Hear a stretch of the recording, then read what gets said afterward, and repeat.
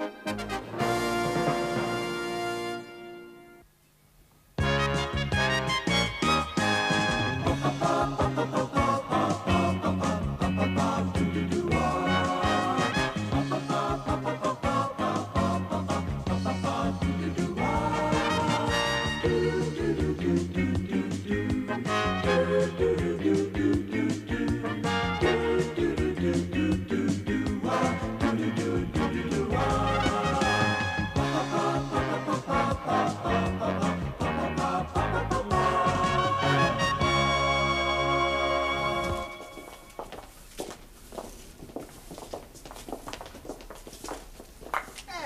Sid. Hello, lads. Hey, what's all this? It's a bird. Go on. I can see it's not an elephant. Don't be stupid, Sid. You can't get an elephant in a cage. I think he makes the joke. Oh. What sort of a bird is it then? A cockathree. Beg your pardon? A cockathree. Cockatoo. Hey, you're one cocker too many. it's a cockley too. Cockatoo? Oh, you mean it's a sort of a parrot? Ah, that's right, yeah. Oh, what are you going to call this parrot then? Polly. That's original. Ah, Paris. Just who we want to see. Oh, well, if it's tea on tick you're after, forget it. No, no, no, no. Look, we just bought the bird and we want to leave it with you. How do you want it cooking? Don't want it cooking. It's our new pet. Oh, well, how was I to know? People eat anything these days. Look, we just want you to look after it until we finish class, okay? Yes, all right. Put it behind the counter. Okay. Thank you, your ladyship. Evening, Sydney. Hello, Mr. Brown. Have a good weekend. Lousy. Got the mother-in-law staying with us. Ah, how'd you get on well with her then?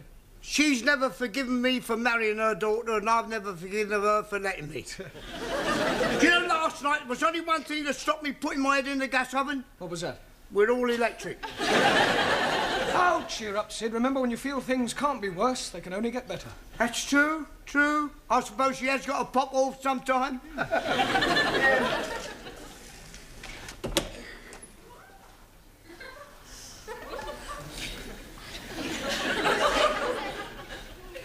Ah, uh, good evening, Danielle. Ah, bonsoir, Monsieur Brown. You're just the man I'm wanting. Me? Yes, can you help me? Well, I'll do my best. I have the big problems. Yeah, well, I'm afraid I can't do much about those. No, not that problem. Oh, sorry. My life, she's a mess up. Is she? I mean, is it? What sort of a mess up? I tell you, last month I met this boy. Ah, an affair of the heart. This boy, Pierre, he keeps writing to me. Pierre? he's a foreigner. No, he's French. That was to me. He's a... Never mind, go on. Henri has found the letters. Ooh, the plot thickens. I not like a jealous man. Pierre. No, Oh, Henri. Marcel. He works with Henri as a consular. I'm sorry, I'm a bit confused. Who is Marcel jealous of, Pierre or Henri? Emile. I shouldn't have asked. There's another thing. He keeps telephoning me. Who? Pierre, Henri, Marcel, or Emile? Jean-Paul. I've heard of safety in numbers, but this is ridiculous. They're all after the one thing, my body. That's all they're after. Well, you must just try and discourage them. Oh no, I like it. I Pierre Monday, Henri Tuesday, Marcel Wednesdays, Emile Thursdays, and Jean-Paul on Fridays. That is my problem. What is? My Saturdays and Sundays, they are so dull. Ah, good evening, Anna. You're busy? Oh, no, no. You've just finished. Good. I have ein großes Problem. Oh, not another one. Who is it? Hans, Karl, Wilhelm, or Adolf? It is my homework. Oh, sorry. Your question is asking what is correct address for a member of parliament. Yes. I do not know where any members of parliament are living. No, the question means how do you address them? What do you call an MP? Ah, I don't know that either. Right Honourable. Jawohl. Where you want me to write it? On the blackboard? No, not W-R-I-T-E, R-I-G-H-T, right. Right. Right. Right. Right. Excuse me, please. you cunning chicken! Go away, you can do it. Take away. Ali, what is going on? It is Ranjit. What is the matter with him? Oh, blimey. He has gone oranges. yes, Please, give me bananas. Jolly good. Not open this door, I'm breaking it down. Ali, unlock the door. Oh no, I'm not unlocking the door. Right, well, if you won't unlock it, I will. I have been warning you. Now I'm coming in. Ah! Ranjit, what is the meaning of this? The meaning is some damn fool is opening the door just as I'm charging it. Mr. Brown opens the door. Thousand apologies. Right, come over here, Ali. Now, what is all this about? That barbarian is calling me a hairy goat. Is this true, Ali? Yes, please. But this infidel is calling me the son of a cross-eyed camel. Not true. I am calling him an illegitimate son of a cross-eyed camel. Yeah, well, it's not good enough. Ah, you want me to be calling him something worse? I don't want anybody calling anybody anything. Whatever your differences are, kindly leave them outside the classroom. Now sit down, the pair of you. Come on. Ah, Taro. Also, Did you have a good weekend?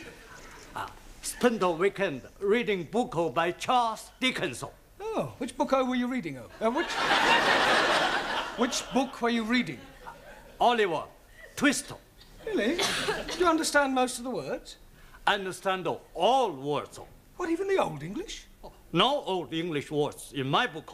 Ah, must have been a revised edition. No, no. Japanese edition. I thought it was too good to be true. Good evening, Master D. Still knitting away. Oh, no. I am the knit cardigan. yeah, what I meant was that would. Uh, you, you misunderstood what I was saying. And you are being misunderstood what I am being knit. Look, why don't we just forget the whole thing? Good evening, Suli. Not good for me. Oh dear, what's the matter? I have lost my riddle lead book. Oh, good. Uh, I mean, bad luck. I look everywhere but not find it. Does this mean you won't be treating us to any of the Honourable Chairman's quotations? Oh no, no quotations by heart. Chairman Mao, he say, in every process there are number Thank you, Suli. one. Thank you. We know them. Ciao, everybody. Only just made it. Sorry, boss. We had things to do. That's right. We just got a fantastic bird. Really? Does this bird have a name? Sure, Polly. In future, kindly refer to her as Polly and not as a bird. Okie dokie. She's gonna be very good company for us at night. Us? What do you mean, us? Well, we're gonna share her. One night she sleeps with me, another night she sleeps with Maxie. I don't think I want to hear anymore. Why? You not like birds? Well, let's just say I don't like sharing them. Hey, I fixed something for you. You give me a fiver, we go get you a bird. Sure. What color you want? Oh, what colour is yours? Mostly red With a blue neck. and a green dress. The ah, penny's dropped. Where? Polly is a parrot. Well, that's right. What do you think she is? An elephant? Doesn't matter. Sit down. What about the penny? Ignore the penny. Buenas tardes. Juan, you're late. Por favor. Never mind, por favor. You should have been here five minutes ago. Why? What happened? Silencio! Thank you. Sorry. Why are you late? Uh, I tell you, my boss where I work, he tell me about a horse who's going to win the big race tomorrow. Very clever horse. Talking horse. Juan, horses don't talk. Si, senor. He told me he get the tip straight from the horse's mouth. That's just a racing term. All right. Then he tell me to put my shed on horse. You didn't. Nah, Oh, thank goodness for that. my shed wouldn't fit the horse. Ah. Silence! I bet 10 pounds to win on the horse. Well, ten pounds is a lot of money. You could lose. No lose. Tomorrow I'll be plenty rich. Muchas pesetas. Look, there's no such thing as a certainty. Si, senor. My horse is sure to win. How do you know? Ah, easy, I tell you. Big race starts 2 o'clock, so right? Yes. Bookmaker, he tell me my horse starts at 10 to 1.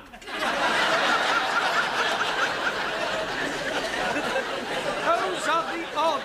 Your course, we'll start at two o'clock, just like all the rest. He tried to cheat me. I go punch his face You'll do no such thing. Sit down. It's time we all started work. Now, just take the register to Miss Courtney, and then we'll have a look at your homework, all right? Yeah.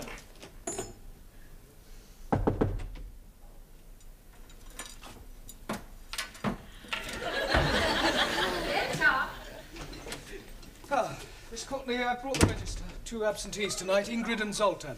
Oh, well, I've had a letter from your Hungarian student. Oh, has he gone sick? No, he's gone back to Hungary. Oh. Enter. Excuse me, Miss Courtney? Yes. What do you want? I'm Sheikh Al Hamid, and I'm interested in your English classes. Oh, well, if you don't mind me saying so, your English is fairly good. Thank you. It is comforting to know that my years at Oxford were not wasted. I would like my personal chauffeur to join your class. Oh, I'm afraid that is quite impossible. It is midterm and students are not permitted to join halfway through a course. Rules are rules. I'm sure you could make an exception for a little donation of uh, uh, two thousand pounds. This isn't the Dorchester Hotel, you know. This is an educational establishment. You can't expect us to bend the rules just because you plonked two grand on the table. Can he, Miss Courtney? Well, of course he can. Where is your chauffeur now? Outside. Will you come in now? But he's white. People usually are from Glasgow.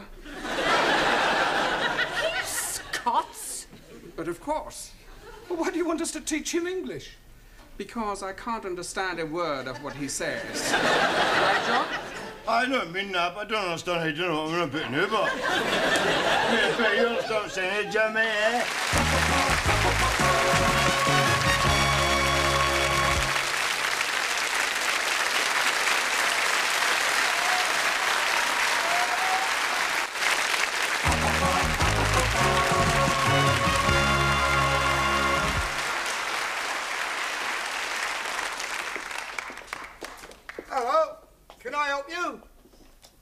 No, don't suppose you can, mate. I've been told just go to hang about here. Rush all bird and a ten fudges said it going to do.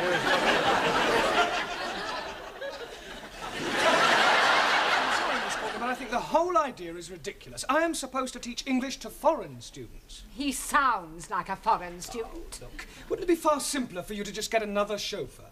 No, I couldn't do that. You see, Jock's father gave his life defending my father during the war. I feel I owe him a living. Yeah, well, in that case, why don't you make him very happy and give him a job in your harem or something? Don't be stupid, Mr. Brown. Oh, I wonder if you'd mind waiting outside for a moment while Mr. Brown and I discuss this matter privately. Not at all. The door, Mr. Brown.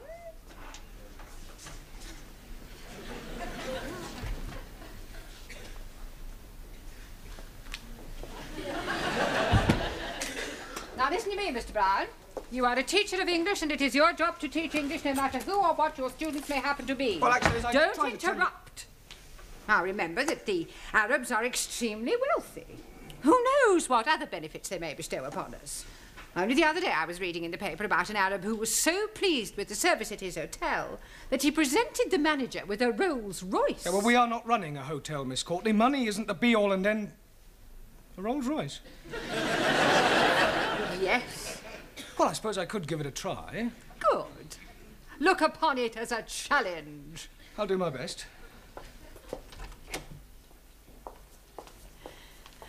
I wonder if you would care to join me in a cup of tea in the office, and then later on I'll show you round the school. How very kind of you.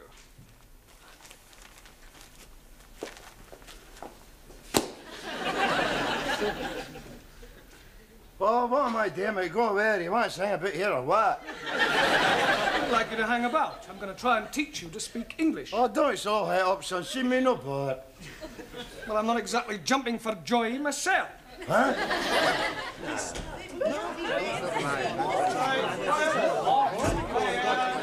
On the Tower of Babel. Can't you think of anything better to do than chatter to each other? Sure. Hey, we go for a cup of tea. That's a good idea. Don't do no such thing. Sit down, be quiet, and pay attention. Right, you'd uh, better sit ne- next to Anna. Okay. Hello, Hen. How's it going? What is your name? Hamish Hector Dougal Donald Stewart McGregor. Well, I'll put you down as Jock. Oh, you like, Jim? Well, as you can see, we have a new student. Ah, you're all very lucky for helping me as one of you, you know what I mean? Or as you say yourself, oh, I renew and all that haggish bashing nonsense. Oh, blimey! What language is he speaking? Believe it or not, it's English. Ah, he's right enough, you know he's right enough. If that is English, what language is it that we are learning? M- Mr. McGregor is speaking in dialect. I thought you said he was speaking English. Oh, English, but with a dialect. Hey, I know all about them dialects. You do? Sure, I've seen them on television.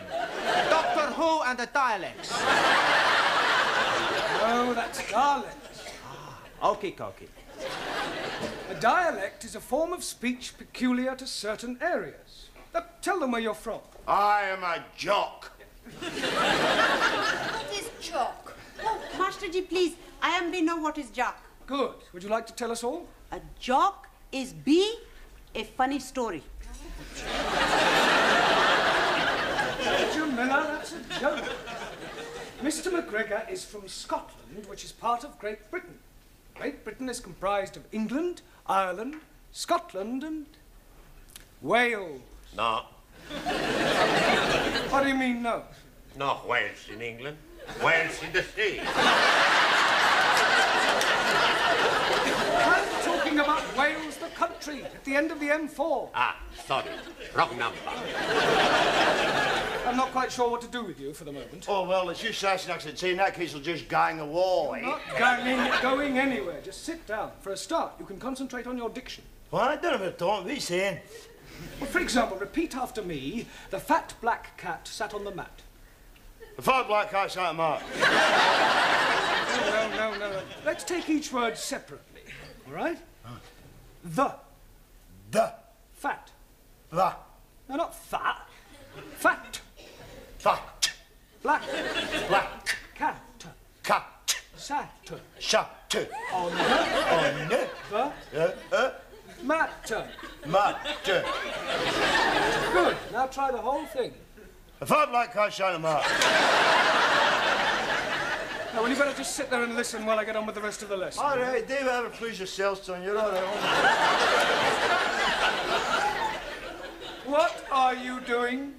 Having a dram. Oh, you fancy a touch of stag's breath yourself, why, Ron? Certainly not. And I don't allow drinking in the classroom. Oh, see, well, help yourself to smoke if you feel like. it. No drinking and no smoking. God, it's worse than being in a kirk. Precisely. Right, now, if you recall, I asked you each to write a brief essay on your various beliefs. I hope you've all done so. Suli, would you like to read us out your essay? What I believe. Firstly, I not believe in religion. Excuse me, Suli, the subject was what you believe, not what you don't believe.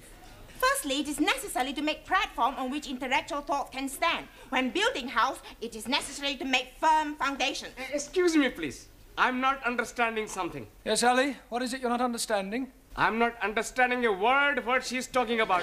I quite agree, Ali. Suli does rather tend to be dialectically verbose. Oh, blimey. Now I'm not understanding what you are saying. Point taken. Uh, right, sit down, Ali. thank you. Carry on, Suli, and this time stick to the point. I believe everyone is equal in eyes of state. I believe in Chairman Mao. I believe in dictatorship of proletariat and suppression of capitalism. Ah, rubbish. Rubbish. Western world corrupt and evil. Ah, away him and paddle in your paddy field. I report you to late elections. Ah, shut your gob. Kindly keep your remarks to yourself. Excuse, please. Yes, Taro?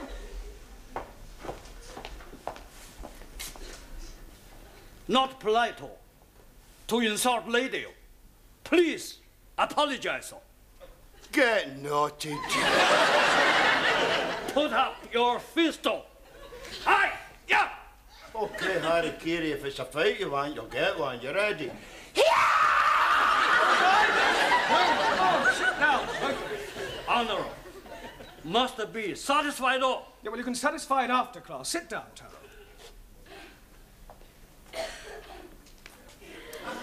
And as for you, I'd be obliged if you would keep quiet. Thank you, Sully. I'll read your essay later. Um, Juan, Si, senor. would you like to read us your essay? Sorai. What I believe by Juan Cervantes, para servirle. So far, so good, eh? Yes, come on, get on with it. Sorai, sorai.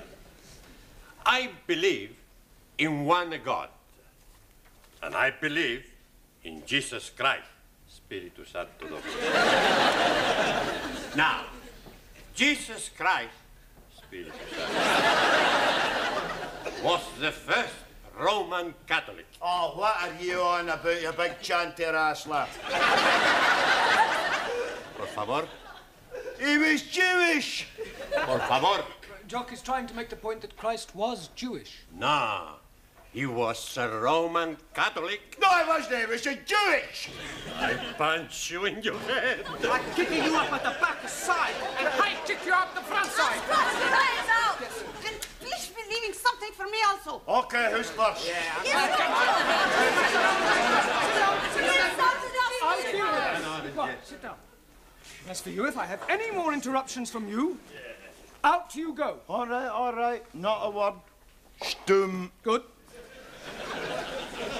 I go on, Sorai. No, Juan, your beliefs are just as controversial as Suli's. Por favor. No, uh, it doesn't matter. Sit down. Yeah. Come on. We'll try you, Ranjit. I am believing that all men are being born equal. Oh, no. Jock, I have warned you. Oh, come on, Jimmy. I can't be expected to sit here and listen to Charlie Chapati claiming he's mine. What is he calling? Nothing, Ranjit. He's calling you Ah, well, the same goes for you, take away Tommy. I'll give you a bunch of fiver. You can all go to tea break. Go on, tea break. And as for you, you can just kind of, just go. Where is everybody going? Tea break. Well, do it quietly. Ah, Miss Courtney, I'm sorry. I, I'm afraid I can't do it. Can't do what? Put up with our Scottish friend. He's a, he's a disruptive influence on the rest of the class. Mr. Brown, I am afraid that you must. I have invited the Sheikh to meet the Board of Governors. He has promised to give us a new school hall. I don't care if he's promised to give you the Albert Hall. Forgive me, I couldn't help overhearing. Is there some sort of problem? No. Yes, I'm afraid I cannot put up any longer with this chauffeur of yours. He's rude, self-opinionated, and extremely unpleasant. And you can keep your Rolls Royce. What an extraordinary man. Uh, you better wait in the car. Okay, Gaffard, just hang about inside the motor now, eh? Right. That is a pity. I was quite looking forward to meeting your board of governors. And so you shall.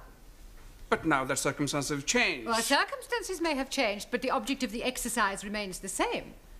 Now, forgive me if I'm wrong, but uh, as far as I understand it, you wish to be able to converse with your Scottish chauffeur. yes, but I fail to see how that can be achieved now. Well, every problem has its solution.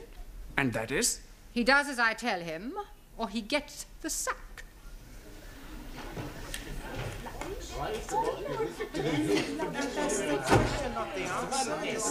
Come along, everybody, sit down quickly.